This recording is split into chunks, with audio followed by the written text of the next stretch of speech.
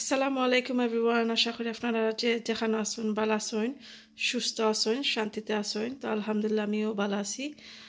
আর আবার একটা নতুন একটা কুকিং ব্লগ লই আইছি আপনার মাধ্যমে। তো আশা করি এনজয় করবা। আর যারা আমার সাবস্ক্রাইবার হল আসুন দেখরা থ্যাংক ইউ সো মাচ আর যারা ঘুরি ফিরি দেখরা ওয়েলকাম টু মাই চ্যানেল আশা করি আপনারা একটু দেখবা। আর দেখে দেখে ভালো লাগবো। তো শুরুতে আমি দেখাই, আজকু কিতা বানাইমো? আমি আজকু পাস্তা বলোনাইজ বানাইমো। আর এটা লাগে কিতা কিতা লাগবো আমি এখন আপনারা লগে আমি শেয়ার করাম তো এখানেও আমি লইছি দুইটা মিডিয়াম চপড অনিয়ন্স আর এখানেও জিঞ্জার লইছি, আস্তে একটা রসুন লইছি, আর এখানেও আমি red and green black pepper লইছি, আর এখানেও সুইট কর্ন লইছি। আপনার যেহেতু ফ্রিজের মাঝে থাকে সবজি, ওটা ইউজ করতে পারবা বাট আমার এগুলো আছিল, তো আমি এগুলো ব্যবহার করব আর এখানেও দেখতে পারা চিলি ফ্লেক্স আছে ব্ল্যাক পেপার আছে অয়েস্টার সস আছে সয়া সস আছে, আর এখানেও পাসাটা লইছি। আর এখানেও আমি একটু আমরা এশিয়ান স্পাইস আমি অ্যাড করব একটু ফ্লেভার দিবার লাগি। তো এখানেও জিরা আছে, হলুদ আছে কারি পাউডার আছে, ধনিয়া গুঁড়া আর মরচ গুঁড়া আছে। তো শুরু করি আমাদের স্কুল ইয়ে কুকিং আর দেখো আমার লগে। তো এখানে দেখতে পারা সুইট কর্ন আছে। তো আমার এটা আমার ফ্রিজে অল্প রয়েছে তো ভাবলাম এটা আমি ইউজ করিলামও আর নষ্ট হয়ে দিতাম না। তো আমি সুইট কর্নও অ্যাড করব আর অ্যাট দ্য সেম টাইম আমার কিমা আমি ওয়াশ করি আমি কলেন্ডারও ড্রেন করে রাখছি। তো সাথে তাহকা আর দেখবা আমি কিলা এটা বানাই। তো প্রথমে আমি ফ্রাইং প্যান বসাই দিছি, আর এখানে আমি পরিমাণ মতো তেল দিলাইছি। আর তেল দেওয়ার বাদে আমি আদা, রসুন দিব আর পেঁয়াজ দিব আর সাথে লবণ দিব তো এখানেও দেখতে পাবো আমি পেঁয়াজ, রসুন, আর গার্লিক আমি জিঞ্জার দিলাইছি। আর একটু লাড়াচাড়া করিয়া একটু যেগুলা ট্রান্সলুসেন্ট হয়ে যাব তখন আমি একটু স্পাইস দিমু, সবগুলো আস্তে আস্তে দিলাইমু। আর আমি ওখান পরিমাণ মতো লবণ দিলাইমু তো এখানেও দেখতে পারা আমি চিলি ফ্লেক্স দিলাইছি কোয়ার্টার টিস্পুন আর কোয়ার্টার টিস্পুন ব্ল্যাক পেপার দিলাইছি তো এখানে দেখতে পারা আমি সবগুলো স্পাইস দিলাইছি ওয়ান টিস্পুন ধনিয়া powder half teaspoon chilli powder one teaspoon জিরা half teaspoon curry powder and one teaspoon হলুদ।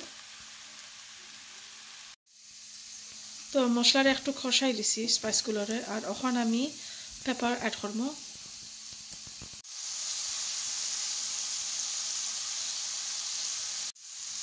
তো এখানে দেখতে পারা ওয়ান টিস্পুনের মতো ওয়েস্টার সস আমি দিলাইমু আর অলরেডি আমি ওয়ান টিস্পুন সয়া সস দিলাইছি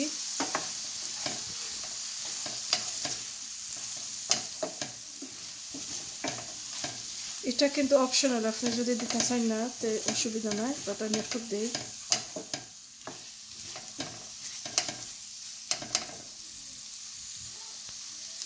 এখন আমি কিমা দিলাম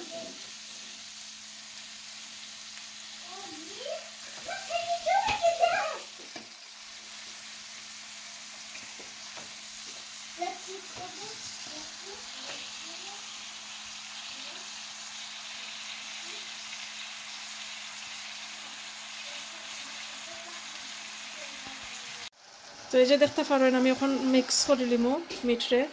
আর এখন আমি কিন্তু মিক্স লেমন দিয়ে আমি দিয়েছিলাম গন্ধ যাইটুকু করি। তো মিক্স করি হলে আমি দেখাইলাম সো আমরা একজন টেস্ট টেস্টার আইসন টেস্ট করবার লাগে। সসটা কি লইছে কি লইছে সারিনা ভালো লাগছে নি? ভাত নাই। ভালো হয়েছে নি ও thumbs up yeah? Okay. That's a good sign. তো এই যে দেখতে পারেন কিমা সিদ্ধ হয়ে গেছে আর পানি ঠানি গেছে আর বর্তমানে হন তেল বারর। তো দেখতে পারা আমি কতটুকু আমি কুক করছি এই কিমারে। আমি প্যান কিন্তু ইয়ে করে দিছি। একটু দেখতে পারে আমি একটু ইয়ে গেছে ব্রাউন হয়েছে সবটা। তো ইলা বালাটিকে ব্রাউন করলে কিমার একটু যে গন্ধ আছে, ওটা যাই বগি, তো আমি বালাটিকে মশমশা করি এটারে কুক করলাম যেহেতু কিমার মাঝে অনেক ফ্যাট থাকে বালাটিকে কুক করলে গন্ধ যাই বগি। তো এই পর্যায়ে আমি সুইট কর্ন এড করিলাম কারণ সুইট কর্ন তো বেশি সিদ্ধও লাগে না খাইতে খাসাও খাওয়া যায়। তো আমি এখন আমি সুইট কর্ন এড করিলাম আপনার বাসার মাঝে যে কোনো সবজি যদি থাকে, আপনি দিতে পারবা ক্যারট দিতে পারবা যে কোনো সবজি যদি বাসা থাকে ফ্রিজে ওটা অ্যাড করতে পারবা। আমার বাসার ওগুলো সবজি আছে, তো আমি ওগুলো অ্যাড করছি। তখন আমি দিলাম সুইট কর্ন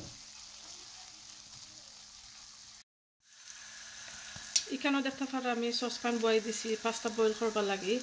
আর আমি এখানেও আমি ওয়ান টিস্পুন সল্ট এড করিয়া পানি বয়লও আনমো, আর বাদে আমি পাস্তা দিলামো পাস্তারে ইলেভেন মিনিটসর লাগে বয়েল করে লিমো আর এবারে আমি পাসাটা সস রেডি করলাম, দিবার লাগি। আর আমার সিক্রেট ইনগ্রিডিয়েন্ট ওয়েপন পাসাটার লগে আমি দিমইল সুগার সুগার দিমো আমি টমেটোর পাসাটার টক যেটা, ওটারে ব্যালেন্স করবার লাগে। তো আমি সুগার অ্যাড করব তো এখন আমি পাসাটা দিলাম।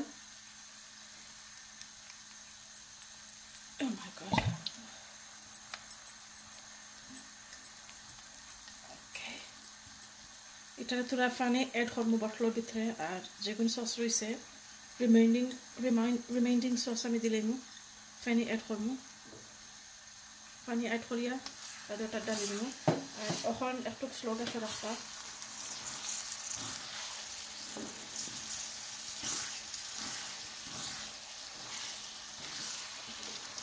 আমি দেখব আমার এক বটল লাগবো নি না আর একটা ইউজ করা লাগবো।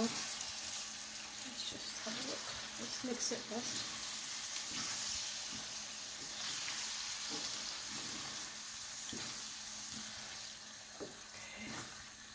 আর এখন আমি সুগার অ্যাড করবো টক ব্যালেন্স করবার লাগে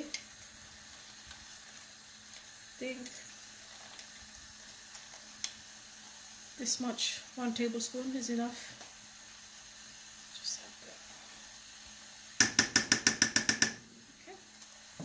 now just mix it. Slow gas রাখব just sauce cook হইবার লাগে আর এখন রিমাইন্ডিং যে সস আছিল ওটার মাঝে আমি তুলা পানি এড করিয়া অর্থাৎ আমি ডালি দিমু। তো এখন আমি এটা সিমর করব about ফাইভ টেন মিনিটস আর স্লো স্লো গ্যাসও আমি রাখি দিমু আর লিড ডাকিয়ে রাখি দিমু। Okay, wait for that. And then pasta পানি অলমোস্ট রেডি হয়ে গেছে বয়েল ওর